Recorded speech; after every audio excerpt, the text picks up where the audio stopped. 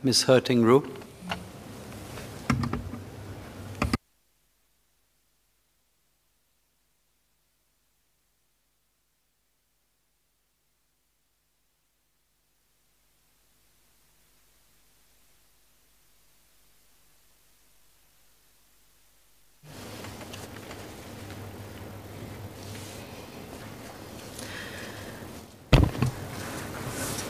Mr. Deputy Speaker, retirement is a word that means so many different things to each of us.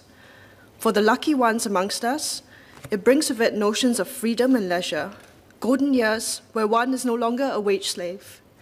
On the other end of the spectrum, it brings with it negative connotations of decline, withdrawal, and fears about whether the money in the bank account would be enough to stretch to the end of the month and it is to address this financing of our retirement that prompted the formation of the CPF system in the first place. Our CPF system was introduced in 1955, before the time when some of our present retirees today were born. Its official mission is to be the bedrock of our social security system with a strong emphasis on self reliance. This is something that we cannot disagree with. And indeed, most of the residents we do meet tell us that they would love to be in a position to help themselves and their families.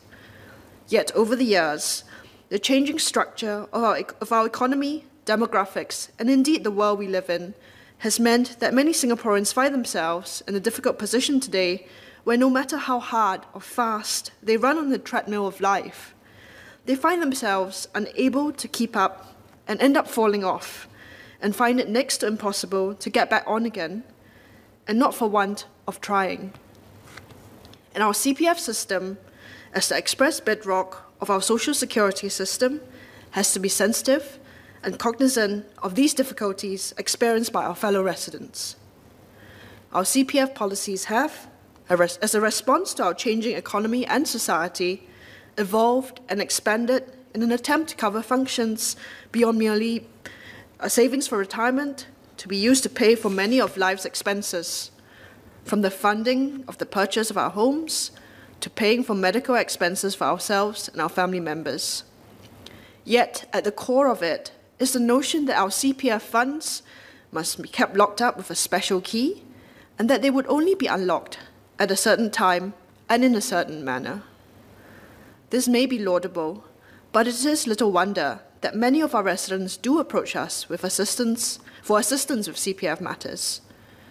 I'm sure that most of us here in this house have come across cases where a loved one, often the sole breadwinner of the family, either passes away unexpectedly or suffers from a condition that results in them being unable to carry on earning an income.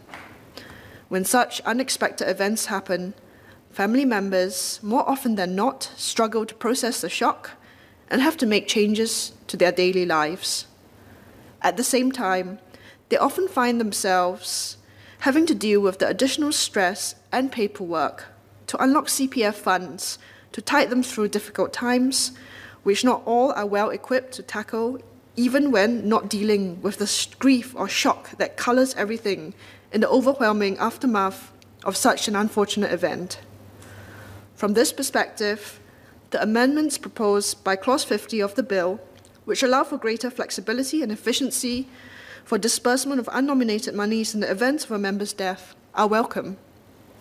These changes allow the public trustee to reimburse reasonable funeral expenses incurred by a beneficiary out of the unnominated monies. It also allows the public trustee to pay a sum of money up to a specified limit to be released directly to a beneficiary representative for disbursement in accordance for, with intestacy laws. However, I would like to request the Minister to clarify what the specified limit would be and how the amount is ultimately to be determined. Would it be an amount that changes like the retirement sum scheme? We also welcome the removal of the ceiling for voluntary contributions to MediSave. This does help to prepare us in an aging society and gives more flexibility to those who are able to do so to better plan for retirement and care needs while still active in the workforce. However, could we please have further clarity on whether the CPF board has an estimation of how many people would be affected by this?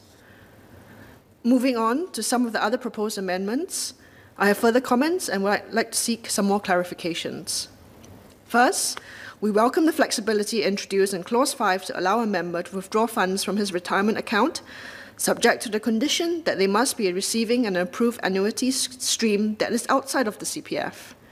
However, I would like to ask for greater, greater clarity on how such other annuity stre- streams are ass- assessed and ultimately approved. Likewise, the same clause introduces automatic withdrawals if the board is satisfied that a member is suffering from a significant condition, without the need for the member to apply for such withdrawals. The explanatory note further clarifies that this only relates to withdrawals from the ordinary and special accounts and not the retirement account. If this is on the understanding that a member is extremely ill or incapacitated, it would mean that it would ease the financial and administrative burden on family members who might need to otherwise apply through the courts or otherwise find additional funds to pay for medical bills or living expenses. Could the Minister confirm that this is correct? Would the Minister also please clarify if automatic disbursements would take place in all cases when a member has a significant condition? This may not be necessarily desirable in cases where the financial circumstances for a member could mean that immediate disbursement of funds is unnecessary. Such an automatic disbursement then may deprive the member on, of interest on these release funds, which would be challenging to obtain in other savings accounts. The final point relates to CPF nominations. The current position is that any nominations for recipient of CPF funds upon the member's death is automatically cancelled upon the member's marriage. Does this remain unchanged with the amendments being proposed? Mr. Deputy Speaker, my clarifications notwithstanding, I support the bill.